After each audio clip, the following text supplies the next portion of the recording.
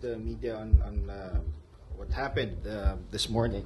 Um, we presented uh, the status of, of our compliance to the EO 39 and um, indicators point that uh, there are decreasing uh, prices uh, observed in market from, from our implementation starting last month until today. And then uh, we are uh, expecting an, an increased supply of uh, our local harvest coming this last quarter uh, for October, November, and, and the rest of the year. And um, favorable factors uh, externally uh, has been reported, a, a drop in, in the export prices of, of rice in the global market has also been reported. So um, that's about it. And uh, we are expected, the DA and DTI, to, to have uh, collaborations in, in order to further monitor and survey the prices so that it will not, uh, again, increase uh, uh, drastically. So, so that's uh, what we are doing. And um, we are working with all uh, agencies of the government, not only the DA, uh, but also the DTI and DILG to, to implement whatever measures and guidelines we can do so that we, the consumers and uh, of course our stakeholders, the farmers will also be uh, benefited. Okay. Before we answer, um, get to the questions, maybe we could talk about the uh, uh, graphic that we're posting. Yeah. Okay. So for for September, of course, it's, it's already done. For October, as I mentioned, uh, we are expecting uh, almost 1.9 million uh, metric tons of uh, rice uh, for for this uh, month. So that will uh, jump our our days to last or our supply of, of rice to 74 days. It increased from 50 last or 52 last September. So because we're expecting a, a more bumper harvest for the coming uh, October and November, uh, the, the public can expect that uh, we will have a, a, a stable supply of our main staple. Okay. Chona Yu, Radio Inquirer. Good morning. Good morning. Sir, lifted na po ba ang E EO39? As of now, uh, not yet. But uh, again, uh, that's why we met uh, the DA and the DTI as well as the sectoral uh, council met so that we can uh, recommend. And uh, the president uh, will be the one who will be uh, deciding on it. Maricel Halili, TV5. Hi, sir. Magandang tanghali po. So, sir, how soon do we expect the lifting of the uh, price ceiling? Uh, since uh, we already have those indicators uh, ready, and uh, I, I cannot say the the duration, but uh, the, the indications uh, point to that. So we, we just uh, we will just keep you updated as, as soon as there will be a decision. But, sir, you mentioned kanina na since nung in-implement yung EO last month, up until now, nagkaroon na ng decrease of prices. Yeah. Can you give us a rough estimate as to how much yung Yeah. decrease ng prices average? Yeah, uh, we were we were at at the, the start of the implementation. Uh, there's always ano, eh, concerns about these changes, but uh, as as we monitored, 80 to 90 percent uh, compliance ang ating mga retailers uh, sa price cap na uh, inilagay 41 for the regular and uh, 40 uh, 45 for the uh, well milled. So yun nga nag-increase yung compliance natin and then uh, we we have seen or we have uh, received the reports from our uh, regional offices, our uh, Phil, Phil Rice Institute about our bumper harvest coming. So we expect uh, yun nga yung stable supply and uh, hopefully uh, makapag-decide uh, na tayo uh, on on the price cap. Alexis Romero, Philippine Star. Uh, Director, you mentioned prices are going down, but the EO on the price cap has yet to be lifted. So what are we waiting for? Uh, ano ba yung mga circumstance na tinitignan pa ngayon that's, you know, that preventing you from finally lifting the policy? Uh, of course, uh, all, all of the decisions uh, that should be made uh, should be with com- complete staff work. Ano? So we're just verifying and uh, so that uh, we can be sure na kapag ka may decision na na i-arrive ay talagang ah, ano tayo, ah, everyone would be ah, benefiting from it. But meron pa bang certain conditions that have yet to be achieved? That's why we are not yet lifting the policy. Ah, well, yung yung three uh, basic indicators lang naman yung naibigay ko sa inyo. Ano? There are other uh, indicators that may be considered. So uh, let us just uh, wait for for this decision. Actually, uh, ang ang DA and DTI and all other agencies of the government naman ay naandyan. Uh, while uh, it's still being implemented, we are continuing with our support uh, from the DA side to the farmers, uh, from the production to, to the SWD and to DILG and to other government agencies. Thank you, Director. Thank you. Okay. Alan Francisco, PTV4. Hi sir, good afternoon. I understand sir itong price cap. Ang ang sabi ng mga na-interview namin, talagang nakatulong para para yung kanilang mabibiling presyo ng ng bigas ay ah, kumbaga naka-budget na sa kanilang araw-araw. Aside from that, sir, the implementation of price cap, um, ano pa po yung mga nagawa ng administrasyon sa Agriculture Department in particular, sir? Uh, of course, uh, from the budget itself, the DA almost doubled its budget. Ano, simula nang uh, umupo ang ating Pangulo bilang uh, Department of Agriculture Secretary. So that means interventions on production support, on machineries, and uh, of course uh, for credit and, and other inputs for agriculture. So that's why, uh, as I mentioned uh, earlier, tumaas ang ating uh, projected harvest. Ano? And not only that, um, it's I think it's the first time that a, a president has has uh, exported or uh, opened the gates for export, not only for domestic production, but uh, ngayon nakakapag-export na tayo ng high value crops natin like uh, durian uh, at the start of the quarter of this year. Uh, mangoes again, we opened a, a, a, a- significant market for Australia and ito lang last weekend itong avocado. So not only yung domestic production mismo, but the earnings from from the exports, uh, I think that that will already help. Uh, that's aside from uh, the president being there, integrating all efforts of the government. Kung makikita nyo, itong uh, price cap, isang example lang ito. Kung, kumbaga, tulong-tulong lahat. DTI, DILG, DSWD, so that not only the farmers ang, ang ating uh, bebenepisyohan, ano? Uh, that, the same way with the consumers kasi lagi namang binabalanse natin ito. Sir, i-follow up ko lang. Um, before, when when President visited in Palawan, he mentioned particularly Metro Manila, kaya doon ipinatupad particularly yung price cap. So itong pag-decrease sir ng presyo ng bigas ay nationwide ba o particular sir sa Metro Manila? Mm. Ah, well, dito sa NCR, lagi naman dito yung hotspot. Kung may tataas ang presyo o bababa ang presyo. But actually, ah, from the regional ah, monitoring namin, may iba pang ang regions na, na mas mababa pa ang, ang, ang ah, presyo. Ano? So, yun nga, nasasabi natin, it's not only from the production side that we are ah, assisting our farmers and our stakeholders, but even even nga dito sa marketing, meron tayong mga mga marketing platforms din na para mat, matulungan natin ang mga mga ah, consumers natin na maka-access nitong ah, murang ah, bigas. Thank you sir. Okay. Pia Gutierrez, ABS-CBN.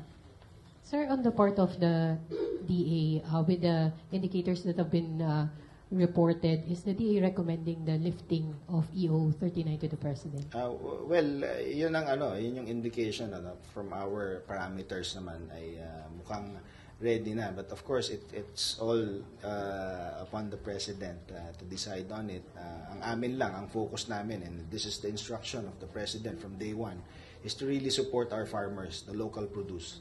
And again, for the third time, I'm mentioning tumaas ang ating production and that's because of the interventions that uh, our President mandated to our agency. So lahat yon not only for rice but other staples and, and uh, yun nga, nasabi ko, high value crops natin. Uh, Sir, ganito na lang po. Um, you reported, uh, the DA reported na decreasing na nga po yung prices and we're expecting an increased supply from uh, our local harvest. Does the DA still think that the uh, implementation of the price cap is necessary at this point in time? Ah, well, nabanggit natin na yung price cap ay temporary lang. Ano?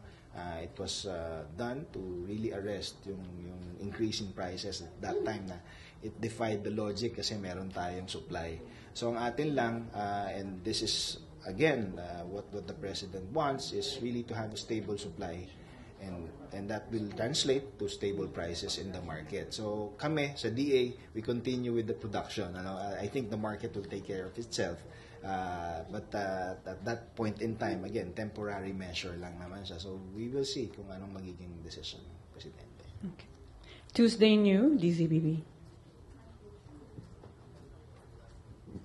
Sir, follow-up lang para maging klaro sa aming lahat. Categorically speaking, sir, nirekomenda nyo na po ba kay Presidente na i-lift na yung EO39 o hindi pa? Ang ang ano kasi natin ma'am dito is uh, DA and, and uh, DTI ang nag-ano ano. Again, Yeah, we uh, uh, recommend ang, ang ang recommendation of course dahil nga dito sa sa ating mga indicators na ito, I think uh, positive na maari maari. But uh, ang ang akin lang again, I cannot uh, hindi ko pwedeng pangunahan yung decision na 'yon. So Ibig sabihin, sir, ah, nirecommend nyo pero si, si Presidente ang magde-decide. not kung- yet, not yet. Na- Oh, hindi not pa. yet. Mag maghintay, maghintay na lang muna tayo for. So, hindi na, sir. Walang recommendation yet? Ah, well, it, ito nga, pinakita namin. We presented it to the sectoral and it, it would be up. ah, so, recommended, sir, Ah. na i-lift na. ha? So, recommended na, sir. Well, Nasa sa kanya na lang yung decision kung kailan. Oh, ano naman yan? Joint naman yan ang ating, ano, ang ating DTI. Para lang malinaw, sir, baka mamaya. Ah. Re- oo. Sorry. No, there was a First, report. ah, ah. There was a report that's showing favorable factors. So we should um, Hintayin na lang siguro Wait. natin. So, yun na yun. Okay. Eden Santos, Net 25. Uh, sir, good afternoon po. Ah, kapag po ba na-lift na yung price cap na ngayon ay pinag-iisipan ng Pangulo kung kailan niya i-announce, mananatili pa rin ba yung presyo na 41 at 45 pesos na bigas? Or mas ah, bababa pa po doon sa presyo na yon yung presyo ng bigas since ah, papasok na po yung ma- maraming harvest? Ah, ngayon na nabanggit ko kanina, we will continue to monitor and survey yung prices sa market ano and, and the DA naman doon sa production side. Since meron tayong uh, ine-expect na harvest this coming ah, fourth quarter and yun nga, pagka meron tayong supply, eh di stable ang ating prices. Kung maaari ay bumaba pa. So, yun ang ating inaano. But of course, that's uh, the market that will work for you. Uh, but kami, uh, the DA, the DTI will continue to monitor and, and survey uh, para ma, mapanatili natin, o ma, ma, makal natin yung, yung uh, mga agam-agam ng ating mga consumers na baka tataas dahil ganito, meron tayong, uh, again, itong season na, natin, na holiday season na darating. Yun nga po, sir, ang pinapangambahan ng ating mga kababayan, ano po, kapag na-lift yung uh, price cap, baka mawala na rin yung 41 at 45 pesos kahit na meron ng mga inaaning pala yung ating mga kababayan. Ah, ayun naman, ang ito naman ang aking ina-assure sa inyo. Ang yun nga, kausap lang namin ang DTI at kami ay nagka-come up ng mechanisms para magkaroon na halimbawa, ano ba talaga yung overpriced? 10% and above? Ano ba yung hoarding? Ilang araw ba nila yan ikikip, yung supply? So, naandyan na yan. Ah, we, we, we are just finalizing and of course, yun nga, yung enforcement natin, lalo pa natin paigtingin. Okay. Sam Medinilla, Business Mirror.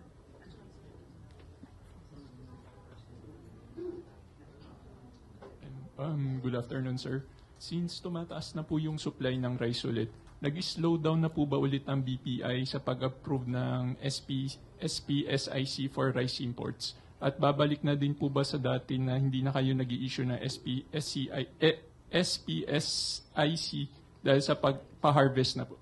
Ah, kami sa Bureau of Plant Industry, of course, meron kasi tayong Rice Tarification Act ano na talagang nag-deliver rice diyan sa atin. But uh, again, uh, our support is always for the farmers. Uh, we uh, whenever meron tayong harvest season na naandyan, we are trying to manage it and uh, sa katunayan, yung utilization naman ng SPSIC sa hindi naman lahat na utilize ano? So uh, maaring yung mga naire-report na mataas ang ating uh, import masyado we have to be critical din doon ano? Hindi naman porke na issuehan eh ganun na kaagad ang darating. So i think kaya nagda-dial up uh, dial down din yung yung yung ibang mga nagre-report about the assumed importation natin na masyadong malaki. Actually, ngayon, compared with last year, mas mababa ang ating ini-import. Kasi nga, ito, tumataas ang ating ah, production ng ating ah, palay.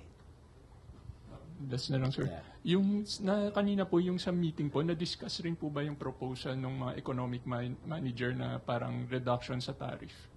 Um, I, I cannot comment on that ano kasi ang ang ah, ang amin more on the production no? but on the tariff side uh, I, I may uh, maybe we can defer that to to the proper authorities ano. Uh, Thank you, sir. thank you.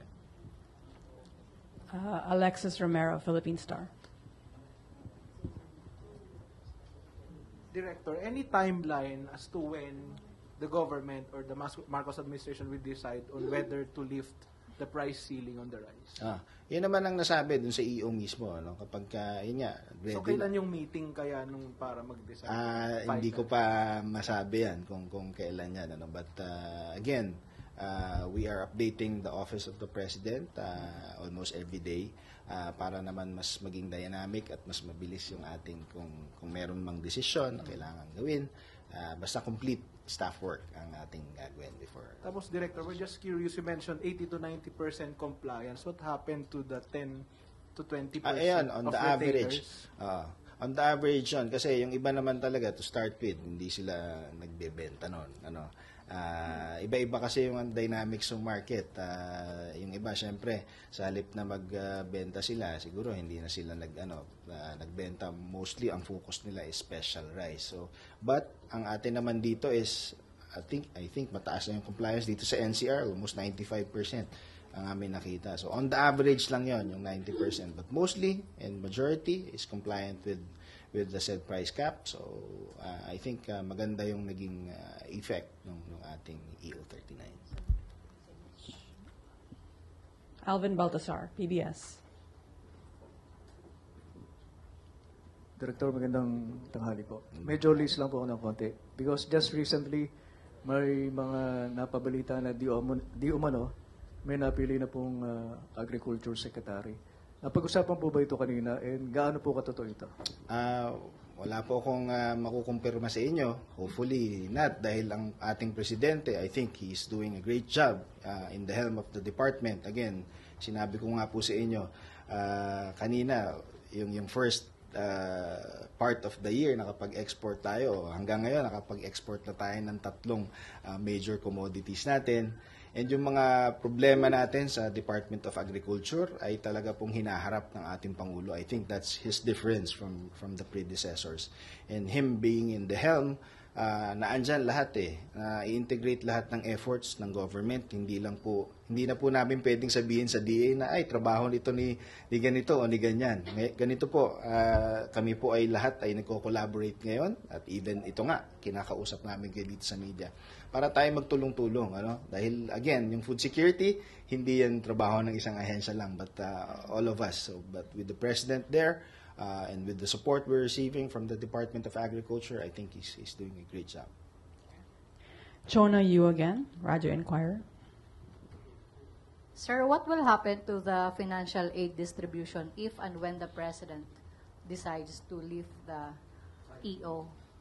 what do Tuloy you mean pa rin ba yung ayuda sa retailers? Ah, yun namang ating mga ayuda na ibinibigay. Hindi naman yan ah, nalalayo sa ginagawa na ng ating mga ahensya. Ano? Yung Sustainable Livelihood Program, of course, yung sa amin sa department naman for the interventions, tuloy-tuloy naman yun eh. Ah, it is just ah, nag-ramp up lang siya dahil dito sa ating ah, kailangang assistance ng ating mga stakeholders. So, ah, again, ah, ang ating Pangulo, laging support for local production, support for our consumers. Ah, so, I, I, I think tuloy-tuloy lang ang magiging assistance natin. Okay, Jean Mangaluz, Inquirer.net. Sir, medyo segue po from rice. Um, may internal probe po ba ngayon yung DABPI regarding the onion importation permits na na-issue nung January and August na hininga ng show cause order yung agency nyo from the Aha. House? Yeah, yeah, we, we submitted that already uh, to to Congress, to the committee.